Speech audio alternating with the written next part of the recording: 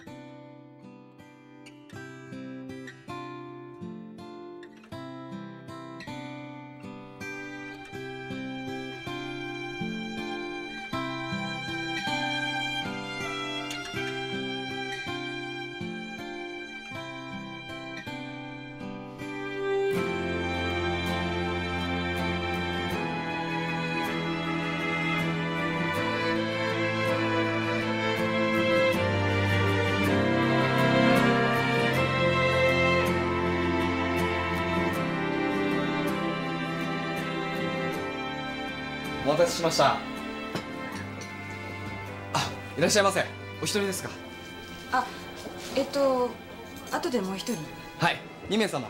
じゃあ空いてるお席へ。はい。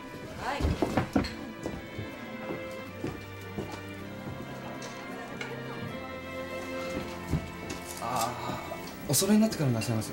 いえ先にいただきます。かしこまりました。オムライスください。かしこまりました。おいじゃんはい。A ランチつ上がり。了解。少々お待ちください。オムラは入ります。3番目の純三郎は誠実で心優しいが優柔不断で涙もろくよく俺に泣き言を言ってきた。家に2班長のガルニの盛り付け終わるよすぐ下の弟は裕次郎といって頭も切れるし腕も立つがその分孤立することも多く悩んではよく俺に意見を求めてきた。末っ子の幸四郎は何をやらせても器用で人当たりもいいがまだまだ子供でよく俺に小遣いをせびってきた。店には他に住み込みの見習いが一人と通いのコックの川端さんがいる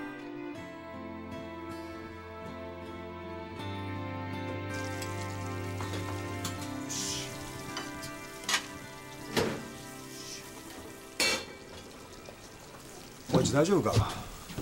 親父もういいの？少し腰に来ただけだ。大騒ぎするな。いやもうすっかりいいんですね。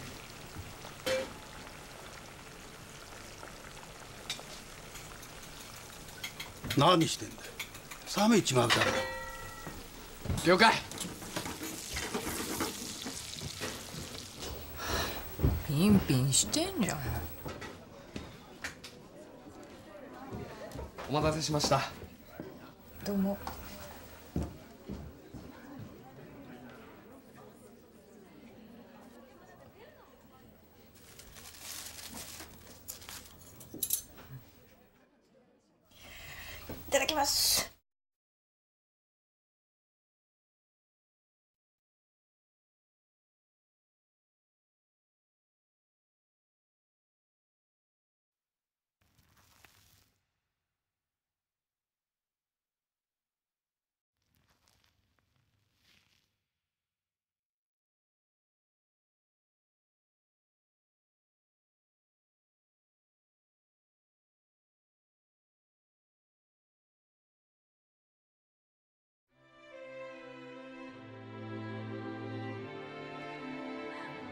おいしい。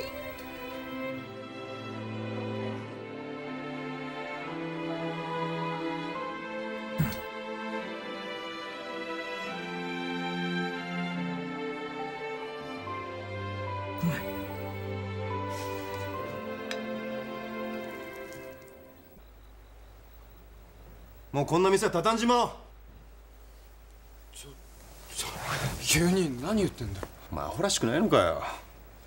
あいつが持ってった12万稼ぐのによ。俺は何枚オムライス焼いて何個ハンバーグこねた。お前だってそうだ。何個米といて何個玉ねぎ刻んだ。今日という今日は心の底からアホらしくなったよ。こんなクソ暑い毎日によ。フライパンなんか振ってられるか。一生オムライス焼き続ける毎日なんて俺はもう真っ平だ。ちょっと待ってよ。マジで店辞めるって言ってんの？お前やりたいのかよ？1枚850円のオムライスを。何千枚も。何万枚焼いても。好きな車も買えないでよ。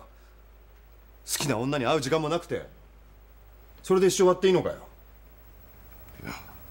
それは。俺は嫌だね。オムライスやポークソテーだけの一生なんて。賛成店畳むのよし分かった。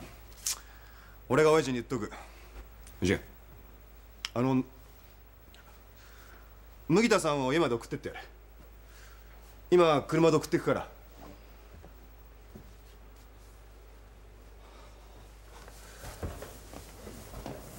まあ兄貴は会うやつだ。あんた騙して俺たち騙して都合が悪くなったらすぐにどっかとんずらしちまう早く忘れた方がいいよ。でもさもし連絡かかってきたら店畳むっつっといてケンニーに。バカ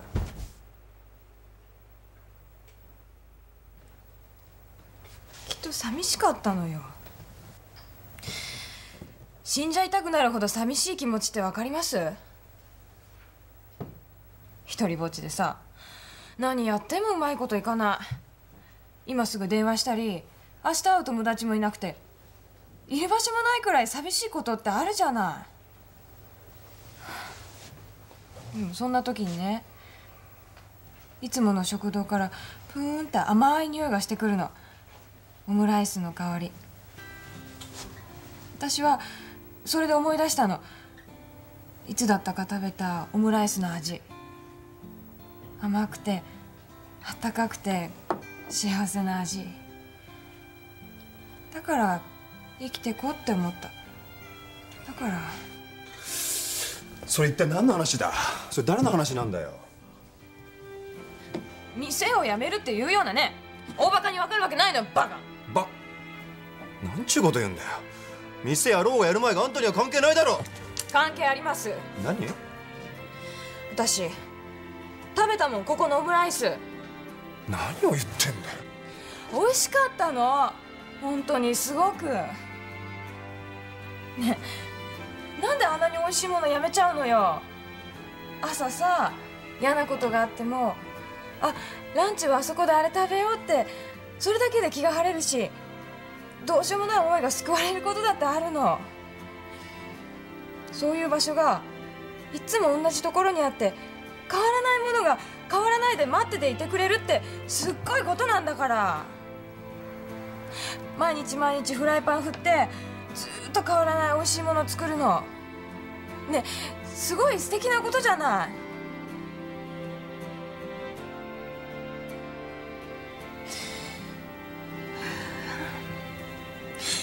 なんで？ねなんでさやってる本人たちが分かんないのよ。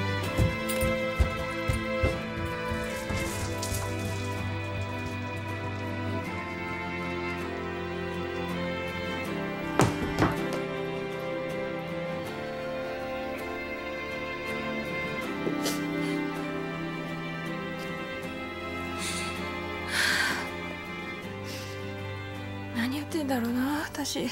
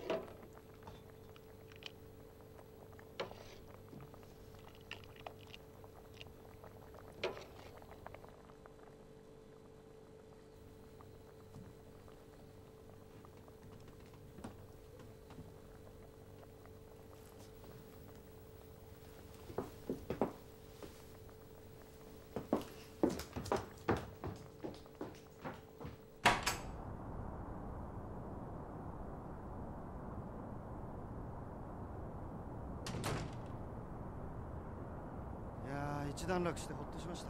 いやー明日もまた大残業だよ。あここ明日の昼飯ここにしますか。ここすごく安くてうまいんですよね。キッチンマカロニか、えあここだったらうちの女の子たち連れてきておごってやられるな